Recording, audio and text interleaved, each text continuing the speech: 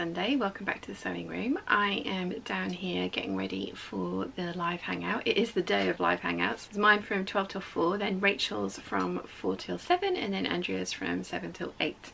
So lots of sewing entertainment coming at you today. I am still in cutting out mode. I spent yesterday editing and I think Friday editing as well no, Friday, Friday I was cutting out, yesterday was editing. I was going to come down and cut out the rest of the Cobra Corsage, but I realised that there was so much work to do on the sew along video to get it out on time so I did that instead. Which is good because I'm really pleased with how that one's come out. It's all still set up in cutting out mode down here. So I'm going to get the sleeves for the Lezon and the Sorrento jacket cut out of the slippery lining. Then I'm going to get the Cobra Corsage Kiwi and Burgundy cut out as well. I think it's going to work. There's going to be quite a lot of ironing. I was thinking maybe I ought to do that first so I probably ought to stop waffling at you and just get on and get it done. Yeah, let's do that. I shall be back later to show you how I got on today. It's Mother's Day here in the UK and James and I went halves on a bouquet of cupcakes.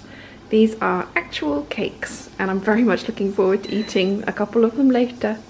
Good morning lovely peeps, happy Wednesday, welcome back to the sewing room. I am not having the week I planned, but never mind never mind. I am going to get the three quarter circle skirt cut out of the Mulberry Cobra Corsage Viscose. Then I can change the room back into sewing configuration and get on with some actual sewing. I think I will sew up the circle skirt first because it's going to need to drop on the bias. I'm hoping I can get some bias binding from the fabric as well. I think I should be able to. There's going to be some like decent sized shaped pieces from the sides of the circle skirt to cut out for bias binding because I have the circle skirt to use it on and then also the 5951 dress to use it on as well. So that's the plan. Get the circle skirt and the bias binding cut out then move back to sewing configuration and get some start getting the rest of the Cobra Corsage sewn up. Definitely not going to finish it by the end of March because it's currently the 29th of March today. Might even be the 30th. In fact, I think it is the 30th. So uh, yeah, definitely not going to finish the Cobra Corsage collection in the first first quarter of the year, but never mind. Never mind. Technically, I didn't really start it until February. So yeah. I think that's understandable. Anyway, enough waffling, more cutting out. I shall see you in a second.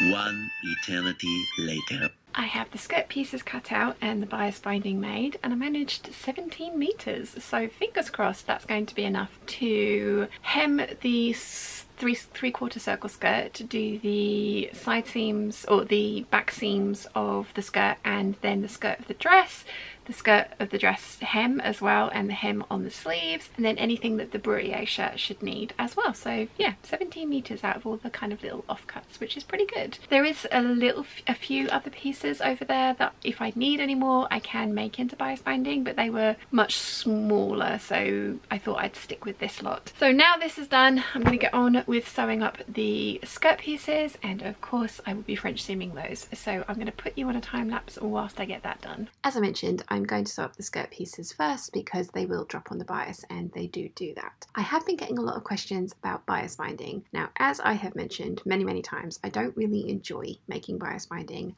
I am finding that I'm enjoying using matching bias binding on my lightweight viscose projects like the magnolia dresses and also now this cobra corsage. One of the questions I've been getting asked a lot is what width bias binding I make and it very much depends on what I will be using it for. Majority of times I make two inch or I cut out two inch wide strips to make a half inch wide bias binding when all the folds have been put in with the little bias tape makers that I use. These are the doodads that I'm talking about.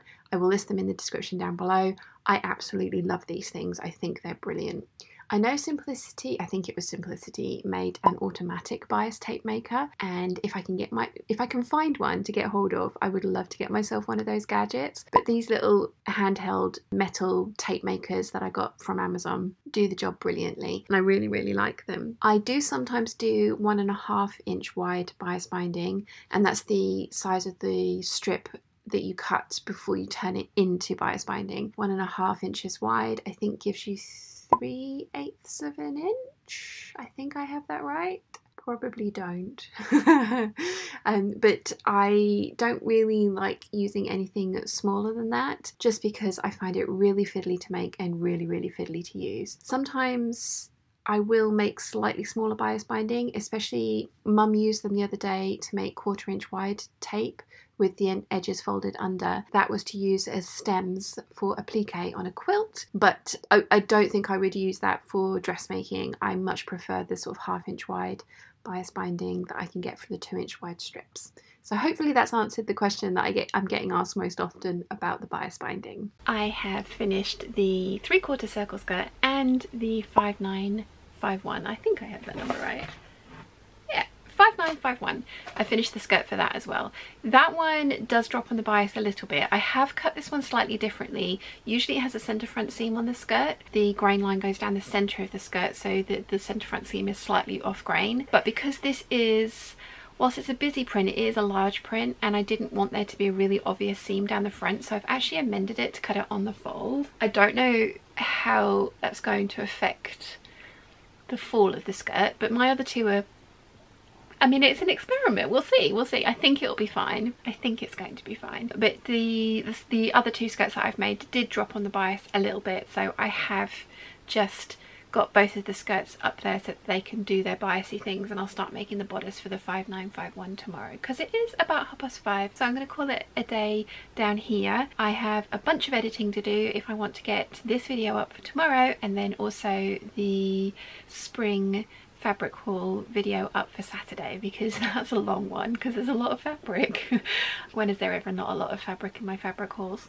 I mean it's not even a haul is it because none of it's new. Haul kind of implies new in but um, fabric that I want to use and patterns that I'm thinking about using for them. So yeah, I need to get both of those edited, edited, edited and up so that you guys can watch them. So I hope you've enjoyed the very brief little bit that I filmed on Sunday and today. It's um, definitely been one of those kinds of weeks, but never mind. I will be back hopefully to regular productive levels of sewing from tomorrow because I am really looking forward to seeing how this dress turns out. It's, it's going to be a good one. Anyway, on that note, I'm going to say goodbye. So I hope you enjoyed it and I'll see you all soon. Bye!